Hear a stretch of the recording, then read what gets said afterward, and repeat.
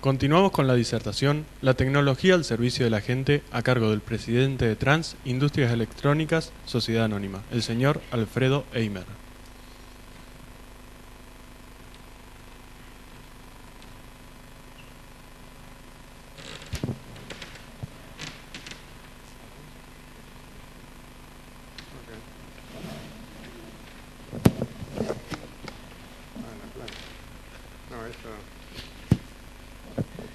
Bueno, buenos días a todos. Este, gracias, Rodolfo, por, la invitación a participar. Realmente he aprendido mucho en este día y medio. Este, fue muy útil, así que muy agradecido. Mi nombre es Alfredo Eimer, soy responsable de Trans Industrias Electrónicas. Bueno, y una de las cosas que he aprendido que este título no es nada original, es lo primero. Y lo segundo, que con lo poco original que es, debería haber sido dado el primer día. Con lo cual, este, espero que en la próxima poder usufructuar este nuevo aprendizaje. Por lo tanto, cambio sobre la marcha el título y prefiero poner compromiso, nuestro compromiso. Eh, inevitable una, una, breve reseña para los que no nos conocen o no tienen un panorama de lo que somos.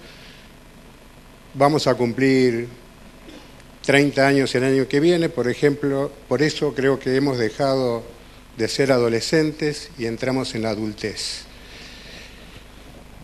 La experiencia nos fue muy útil realmente y, hemos aprendido y seguimos aprendiendo de qué es lo que se requiere y cómo deberíamos actuar o responder ante estas nuevas exigencias. Estamos en Buenos Aires, inevitable. Eh, también tenemos sucursales operativas en Córdoba y San Luis, que los negocios nos llevaron allá.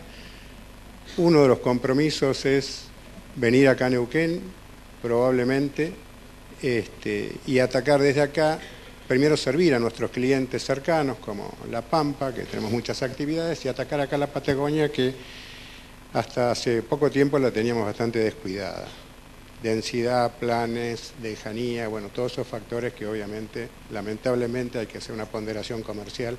Y nos fuimos a Chile antes que a la Patagonia, íbamos a ir a Perú y estamos supliendo esta idea de, hacer hincapié primero, más hincapié en el país antes de, saltar a, otros que aparentemente tienen muchas oportunidades de implementación. Somos alrededor de 100 personas, de las cuales 60 somos profesionales, y 30 son, porque no es el caso mío, eh, certificados en los principales vendors que, que nos acompañan proveyéndonos de la tecnología y que requieren una capacitación muy importante y permanente.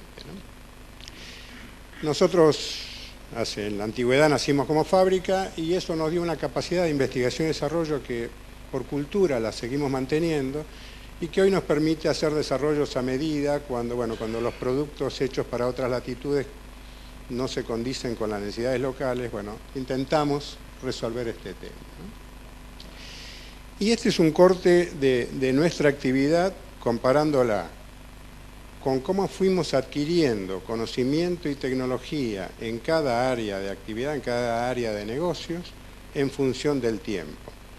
Esto es un, tren que no para, la única manera que nosotros entendemos, hay una elección comercial, conocer mucho de algo y ir expandiendo la cartera de clientes sobre ese tipo de producto, y la otra es tratar de mantener la cantidad de clientes que uno puede razonablemente atender, que en nuestro caso están abajo de la centena, pero en cambio aumentar la cobertura que tenemos con cada uno de ellos.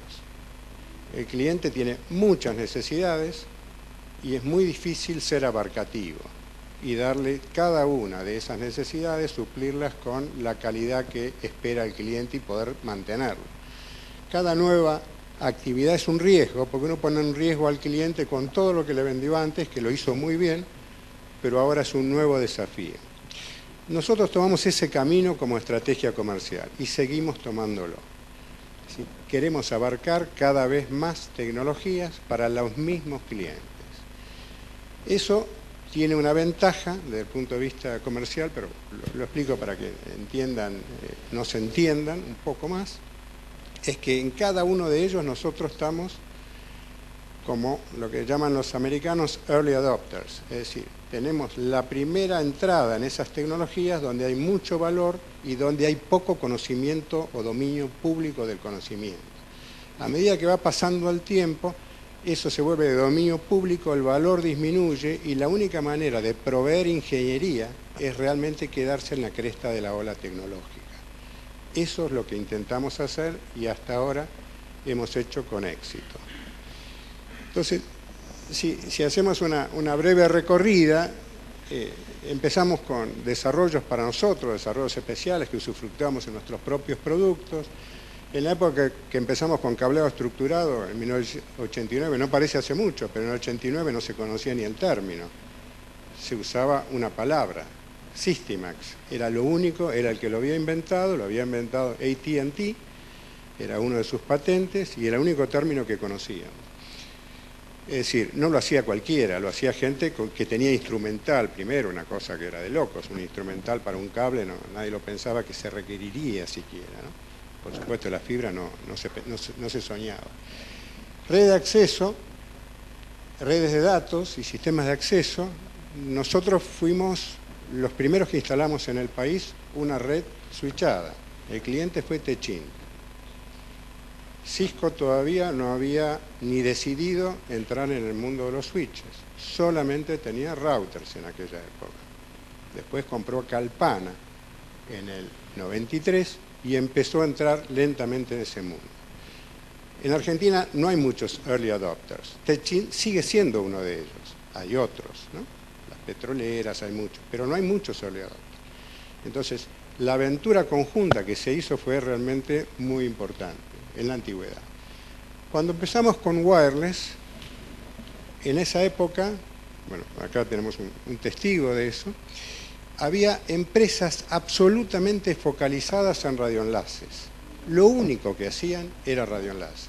Era impensable que una empresa de radioenlaces en esa época pudiera hacer una red de acceso, una, estructura de sistemas de acceso.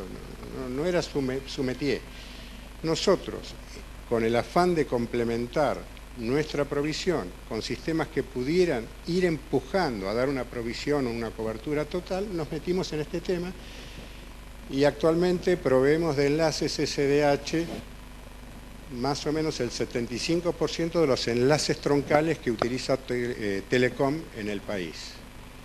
Es una actividad muy importante y muy compleja por la ingeniería que conlleva esto. Son enlaces SDH de desde 1 más 1 hasta 8 más 1, 9 más 1, hay algunos todavía más grande que eso.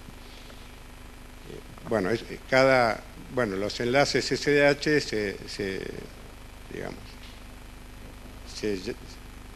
se clasifican de esa manera y toda la telefonía fija de Telecom va por estas troncales.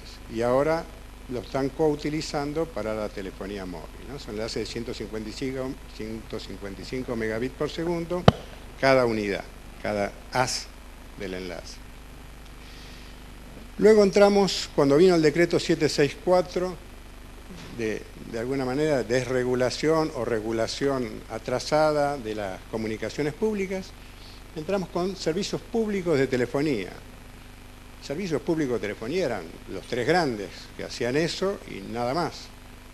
No, había, y le proveían exclusivamente a las cooperativas, el 95% lo proveía Siemens y los otros grandes proveían solamente a los operadores.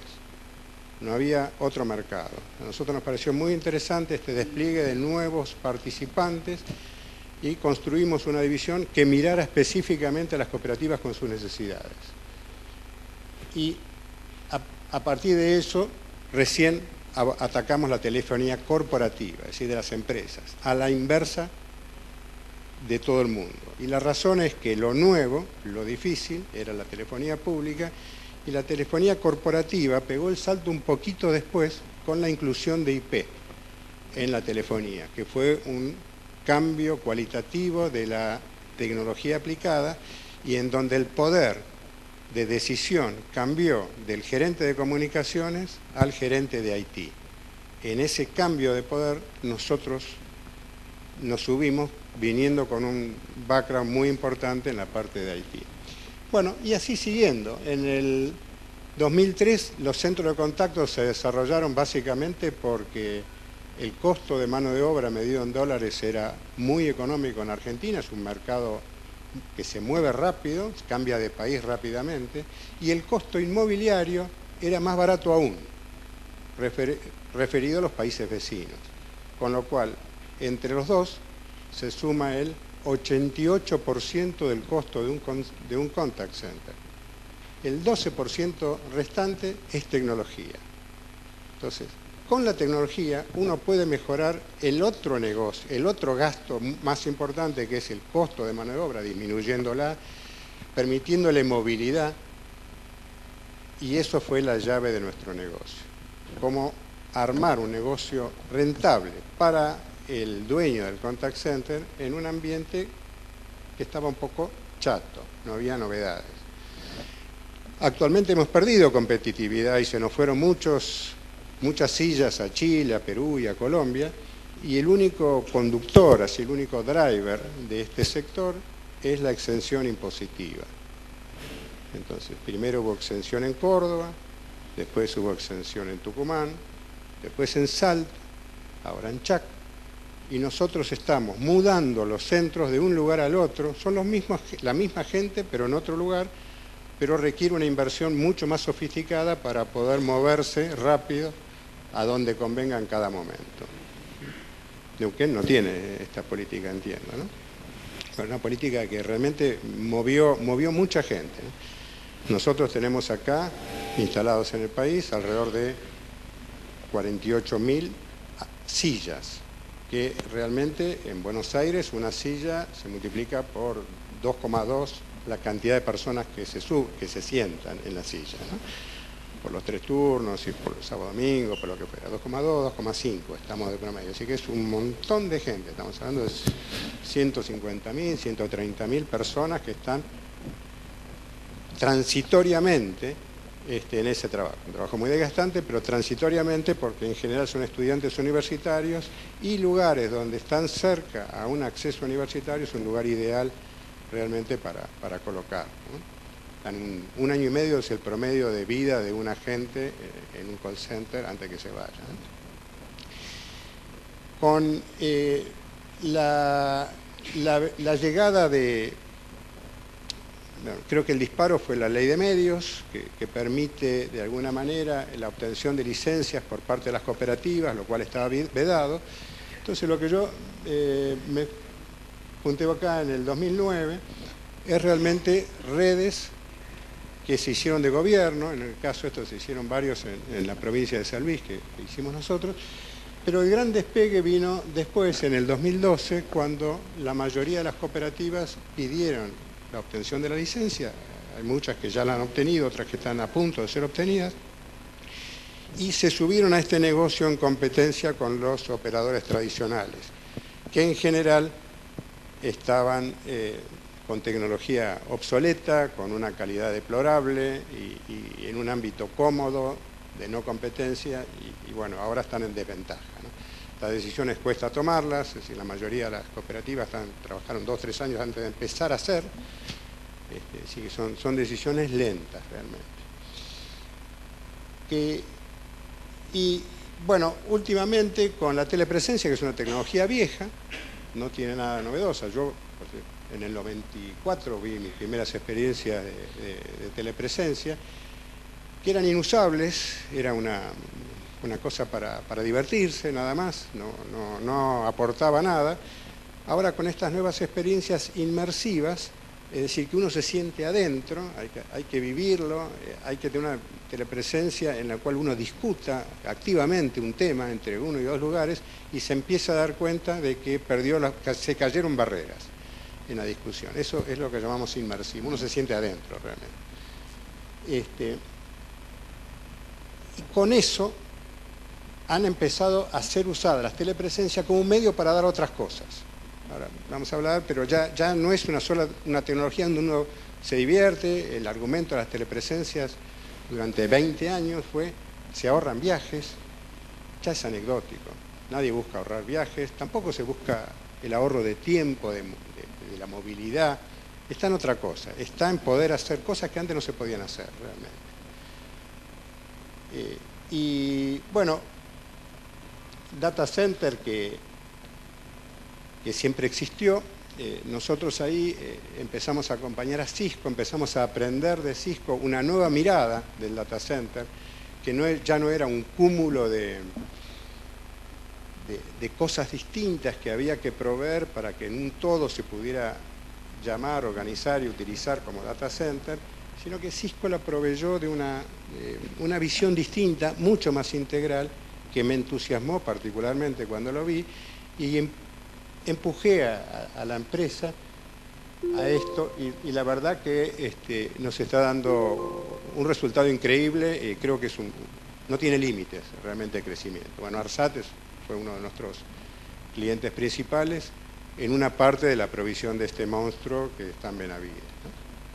Y ahora lo último, también de la nosotros hicimos eh, DWM eh, lo que se llama short haul, que es así de, corto alcance, con aplicaciones de, almacenamiento de storage, de SAN, Storage Area Network me refiero, y seguimos haciendo, pero ahora eh, Cisco tiene una nueva visión también de lo que es DWM, ya no es más capa 1, ya, ya no es un layer sobre el cual se disponen otras otras redes. Ahora la red interactúa con el DWM, un concepto nuevo, donde la capa 1, 2 y 3 es, una cosa mezclada, que no sé dónde está la diferencia entre uno y otro. Y esa visión creo que es novedosa y creo que va también a producir un hito en el cambio.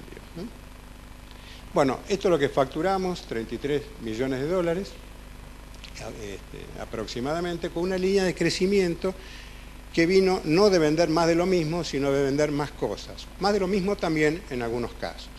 Y otras, bueno, han perdido importancia como cableado estructurado. Nosotros no somos una empresa ahora que hace cableado estructurado, salvo que sea un proyecto integral donde haya que proveer cableado estructurado y bueno, ahí vamos a ser más competitivos. Pero si solamente vendemos cableado estructurado, no nos va a interesar. Eh, ups, ahí. Bueno, para eh, simplemente que se ubiquen mejor en, lo que hacemos, de ese 100% de 33 millones de dólares, nosotros atacamos cuatro mercados groseramente divididos, cuatro mercados. Sector público, que empezamos en el año 2000 o 1999, creció muchísimo y ahora abarca el casi 40%, el 40% de nuestra facturación. Muy importante. Las cooperativas, en, función de porcentaje, son alrededor del 10%, pero son muy divertidas. Es, una, una cosa totalmente distinto a lo que yo me imagino como un negocio normal. Eh, entonces, bueno, somos muy afectos a seguir por ese camino. 15% es alrededor de, o 20% sería este, el sector carrier, service provider, cada vez más demandante de tecnología y cada vez con más interés que el integrador le resuelva problemas. Antes ellos resolvían todo y nos decían todo. Nosotros solamente decíamos, le tomamos la especificación y le proveíamos intentábamos cumplir, que es lo que voy a hablar ahora. Pero ahora ya no es así. Ahora ya requieren ingeniería, servicios profesionales, migraciones, cosas que no sabíamos ni qué eran. Las migraciones de cambio de tecnología, bueno, en, caliente, ¿no? Es decir, están usando la tecnología y quieren migrar. Una cosa complejísima, realmente por el nivel de exigencia que tienen. Marca más o menos el 20. Y el, y el restante, 30 y 30 y monedas, es el sector privado. Y en el sector privado, la actividad más importante, a su vez, son contact centers. Entonces, bueno, nosotros, ¿cómo nos definimos? Si yo definía a Trans explicando algo, lo primero que decía es, nosotros somos constructores de infraestructura. Yo me sentía constructor de infraestructura. Si a mí me dicen qué es lo que tengo que hacer, y yo lo hago. Bien, pero hago lo que me dicen que tengo que hacer. Es decir, que el conocimiento de qué hay que hacer estaba siempre del otro lado, no estaba de mi lado. Yo no asumía esa responsabilidad. ¿Cuál es nuestra responsabilidad? Y esto es servir al grupo IT del cliente. El cliente, y particularmente no el cliente, la, parte del grupo de, de IT del cliente me decía lo que yo tenía que hacer. Eso significa, me especificaba y me controlaba. Y yo tenía que cumplir la especificación en tiempo y forma, mantenerlo funcionando y respetar el SLA. Pero yo no veía nada más.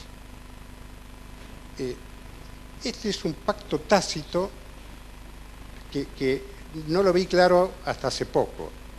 El pacto es, vos me comprás lo que querés como si fuese un comercio, yo te lo proveo, vos controlás de que lo que yo te proveo es lo que vos me dijiste, no lo que vos necesitas, lo que vos me dijiste que querías que yo haga, y a partir de ahí es tu propiedad.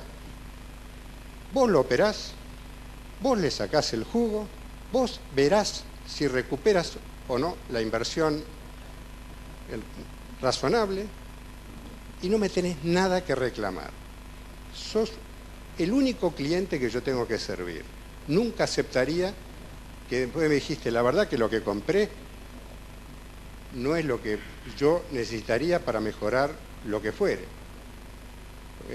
Me especificaste eso y yo cumplí. Y si no cumplía, me lo ibas a reclamar, así que yo no podía estar. A lo sumo a veces sugeríamos algo, pero con tibieza, porque el cliente se puede ofender, por un lado, y por otro lado, no, no era nuestra incumbencia. Entonces, eh, era una lucha interna. Una lucha interna complicada. ¿Qué hacía el grupo Haití? Tenía un cliente interno, que era el definidor de las necesidades. Tenía que interpretar qué, qué le estaban diciendo, quizá en otro idioma, no en un idioma tecnológico, y volcarlo a algo, a una estructura. Nosotros no conocíamos a esta gente. Y esta gente a su vez tenía una responsabilidad, que es mejorar el negocio de la empresa. Lo que hace la empresa. La etimología de negocio es negar el ocio, es lo positivo, lo que hace en forma activa. Ese es el negocio. Por ejemplo, en un supermercado, ¿el negocio cuál es? Tener la habilidad de comprar mejor, retener a los clientes, hacer que vuelvan, aumentar el ARPU de cada cliente, que cada cliente gaste más, mejorar la cantidad de clientes en un ambiente muy agresivo y bajar costos, poder armar sucursales rápido, ese es su negocio. Eh, los definidores de necesidades establecerían que eso significa mejorar la seguridad para que no haya robos. Los definidores del grupo IT especificaría el tipo de cámaras que quiere y yo las, las instalo. Y le instalo el sistema que mejor resuelve la especificación que me dieron. Muy lejos del otro lado. Si algo quisiéramos que nosotros finalmente redundara eh, en el negocio del cliente, la verdad sería casual. Si nadie se equivocó en el camino, todo se cumple. No es, no es lo lógico, porque no se ve y es muy difícil pensar mejorar algo que uno no sabe que quiere.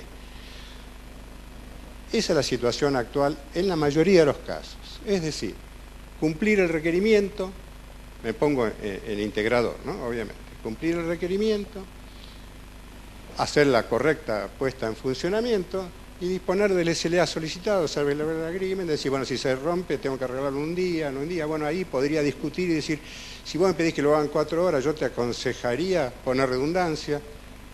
entonces, bueno, quizá el IT manager me dice, bueno, poner redundancia de fuente, y yo me refería a un esquema redundante, entonces, bueno, se transa en algo que da el presupuesto, todo al revés, ¿no? Todo el presupuesto ya está fijado. Es decir, esto eh, típicamente es así. Entonces, acá les quiero contar simplemente la experiencia que tuvimos. Y la verdad que la mayoría de los casos no fue una experiencia buena. Nosotros en el 2000 empezamos a atacar el sector público con la moda de ese momento tecnológica, que era primero, los recursos que proveían de algún eh, organismo multilateral, Banco Mundial, Banco Interamericano de Desarrollo, este, PNUD, lo que fuere. Y se usaron esos recursos para, con el título de mejora de gestión, armar redes ciudadanas que se hicieron, estas las hicimos nosotros, del 2000 al 2008 más o menos, hay desde 50 puntos hasta 150 eh, puntos de interconexión, que típicamente eran edificios, bueno, en un caso llegó a 200, que eran edificios de gobierno, y que el gobierno eh, o provincial o municipal pensaba para darse servicio a sí mismo. El único, la única inversión que hacía gobierno era mejorarse como corporación, no como gobierno, como corporación. Es decir, tenía sucursales, digamos, que son sus propios edificios distribuidos, tenía que mejorar su gestión interna, aumentar la comunicación entre los mismos funcionarios. Y este, bueno, si había otra función que, se podía derivar en algún, este, algún servicio del ciudadano, eh, absolutamente accesoria. La mitad de estos, no voy a decir cuáles, pero la mitad de estos exactamente, hoy no está en operación o sirve al principio original, es decir, no sirvió para nada la red ciudadana. Podría, haberse armado vínculos a través de un prestador y el resultado hubiese, sido el mismo. Es decir, no hubo ningún plus a la ingeniería y a nosotros nos frustró. Algunas dejaron de usar porque dejaron de tener mantenimiento, se cortó una fibra, hay de todo, en estos casos hay de todo. Mirándonos desde otra óptica, nosotros cambiamos la forma del negocio, no las áreas de negocio, la forma de hacer negocio desde que nacimos hasta la fecha y seguimos cambiándola. Empezamos como fábrica, seguimos vendiendo productos, después nos dimos cuenta de que los productos solo no servían para gran cosa, había que agruparlos en hacer una solución, es decir, ser integradores. Ofrecemos soluciones. Pues bueno, la moda de tercerización que, ya pasó, pero en un momento fue muy activa. Después proyectos llave en mano, ya una solución no era suficiente, una solución de un radioenlace con los mástiles, con las antenas, con la energía, con, con todas las provisiones, los rectificadores, bueno, eso es una solución integral, pero bueno, dentro de una red provincial es un hito más eso. Entonces había que hacer proyectos llave en mano en los cuales se enlazaban todas las soluciones para terminar de armar un proyecto. Finalmente, bueno, servicios, servicios profesionales y ahora estamos en la parte de entender la mejora del negocio. Eh, si... Bueno, se me saltó algunas cosas. Eh, estas son las, redes provinciales que hicimos o estamos haciendo, o en el caso de Misiones estamos en la etapa de firma de contrato. Eh, la FIP no es una red en sí misma, pero es una, funciona casi como si lo fuera, casi como una, una red provincial. En este caso, Chaco, Formosa, Misiones, están dentro del programa que habló este, Ignacio sobre la mano de largo alcance dada por las provincias para que realmente la red de ARSAT sirviera al objeto. Obviamente si no, no llega. Me están apurando, así que ya, ya, ya, ya, ya. Las otras redes, la PAMP, San Luis se hizo con fondos propios, la Pampa con fondos de la Nación, pero fuera del contexto de, de las redes provinciales como cola de ARSAT, gobierno de la Ciudad de Buenos Aires se hizo con fondos propios, una red, entre paréntesis, que no pertenece al esquema, pero tiene 600 nodos, es decir, una red, Chaco tiene 60.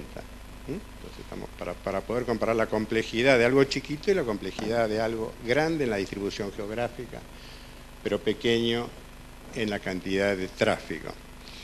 Y San Luis, bueno, tiene una historia vieja, este, en la cual eh, nosotros servimos mucho. Acá en estas redes nosotros intentamos corregir el error de la ciudad, de las redes ciudadanas e involucrarnos, involucrarnos en el resultado. Es decir, lo que contó Ignacio de qué es lo que tiene que, lo que, el papel que juega el ministerio y el papel que debiera tomar la provincia o la ciudad que se, es algo muy bien organizado, pero visto del gobierno central. Las provincias no entienden, Teuquén es una excepción, la mayoría no entiende nada. Ve como una gran posibilidad económica y nada más, y trata de obtener el mejor rédito posible de esa ventaja que recibió de alguna manera. Entonces, la definición de por qué, para qué, cómo puedo evolucionar, qué servicios, cómo diseñarla en función de lo que la gente le va a exigir realmente, no la tienen, no se la puede pedir. Entonces nosotros jugamos o intentamos jugar un papel de articulación de acá, de alguna manera, para ayudar a que todo salga bien y que nosotros hagamos la obra, por supuesto. Pero además que sirva, porque si no sirve, no va a crecer, va a ser un, agujero en nuestro currículum. Yo rara vez muestro las ciudades, porque realmente no me aportan nada. Si, muestro lo que están haciendo, la verdad es menos todavía. Entonces, estas estamos activamente trabajando de esta manera. Bueno, esto es el rol. Nosotros distribuíamos, luego integramos, llave en mano y ahora mejora del negocio. Si uno mira el valor agregado, el valor agregado va aumentando. Aumenta por aumento de tecnología, la curva aumenta por aumento del valor agregado, de que, qué se aporta en cada caso y de la cantidad, obviamente. Entonces, eh, es fácil hacer soluciones, nosotros las hicimos y la verdad que eran casi automáticas, era, una estupidez, desde el punto de vista ingenieril era, era poco desafío. Mejorar el negocio es muy difícil muy difícil. Nosotros aprendimos en la mejora del negocio en tres verticales, ¿cuáles realmente? En tres verticales solamente hasta ahora. Una es la cooperativa, fue la primera. ¿Por qué? Porque las cooperativas nadie entendía nada, ni la cooperativa. Todos querían hacer y no sabían qué hacer, ni para qué, ni cuál era el negocio. Entonces nosotros empezamos desde armar el caso de negocio, me refiero no a las cooperativas que, estaban desde antes, sino a las cooperativas que nacieron con el decreto 764. Acá tengo una cooperativa, que me puedo ofender. Este, tienen experiencia y son clientes nuestros. Pero eh, me refiero a las cooperativas que eran eléctricas, de servicios públicos, proveían cualquier cosa y dice, uy, se me abre una oportunidad, ¿qué hago? Entonces, bueno, de escuchar a los presidentes de las cooperativas, hablar de cómo retener a los jóvenes, de que sus hijos se queden en los pueblos, que, era un cambio realmente, que el verdadero objeto no solo era ganar plata, era servir. Si las cooperativas fueron nuestro primer acercamiento al servicio público, que no lo tomaban las municipalidades, lo tomaban entidades que eran los ciudadanos agrupados de otra manera. Entonces esos fueron los primeros que entendimos de punto vertical. Los ayudamos de todas maneras y la mayoría de los que ayudamos finalmente les proveímos la tecnología a nuestro juicio apropiada. Es decir, nosotros queremos vender, pero entendemos que queremos, tenemos que ayudar para poder vender, porque solo esto no es una, demanda eh, espontánea, inmediata. El otro segmento fue Contact Center, con este cambio que se provocó en Argentina, que fue una oportunidad increíble, desapareció el costo de mano de obra y venían de Europa, nos invadían los contact centers de Europa para servir a Europa, Alemania, cualquier... Se hablaban todos los idiomas, acá un, país culto, teníamos todo, todo para hacer. Y se instalaron el triple, se multiplicó por tres la cantidad de asientos. Los entendimos. Podemos hablar con el dueño del contact center y decirle qué requiere, qué necesita, cuándo, cómo, para ganar, qué. Entendemos la idea. Y el tercero empezó a transformarse el sector público. Al principio no, como mostré, cada vez más estamos entendiendo este, cómo funciona el sector público. Ups, me fui acá a la idea. Pero la idea que, que de alguna manera estoy proponiendo es esta, es decir, que hay un negocio, cualquiera que fuere, y se debería trabajar más mancomunadamente en las definiciones porque el conocimiento no está en bolsas, no está en islas. El que define necesidades es el que las interpreta y el que las ejecuta. Eso es falso. Hoy todos intervienen en algún aspecto. Y la responsabilidad de esta manera quedaría, nosotros quedaríamos involucrados en el objeto, que creo que sería lo bueno. Es decir, es esto, ayudar a resolver las necesidades mediante la tecnología, pero las necesidades, eh, que es un punto, asegurando que se logre el objetivo, a menor con la secuencia de objetivos, pero que se logre el objetivo, no que la tecnología funcione, proveer de tecnología. ¿Qué vale es el negocio en el sector público? Uno, servirse a sí mismo, lo vi acá, porque es obvio, es funcionar como una corporación intentando mejorarse, bajar sus costos, mejorar su eficiencia, su productividad, obtener información, que fue lo que escuché acá ayer, obtener información, mejorarse. Y lo otro es mejorar la vida de la gente. Es decir, está claro que tiene que mejorar la vida de la gente. Bueno, nosotros estamos empezando esta actividad y nos está yendo muy bien con esta nueva visión. La definición de las necesidades, bueno, sí, hay necesidades son infinitas, maneras de abarcarlas, es infinito esto. Entonces, bueno, hay que poder definir, cuando me refiero a necesidades, es el conjunto de necesidades inmediatas, el las futuras, el área geográfica, eso me refiero con necesidades. Es obvio que hay que mejorar la salud, la educación, seguridad, bueno, son, son obviedades. El tema es cómo, cuándo. Entonces hemos hecho muchas experiencias y acá voy a, voy a dejarlo, y con, mucha satisfacción. Lo que vos comentaste, por ejemplo, Cedronar, eh, estamos en proceso de ser adjudicado, lo que esta licitación que comentó Ignacio, de proveer sistemas inmersivos de telepresencia a los puntos donde se han definido, digamos en principio los NAC, los este, centros de conocimiento,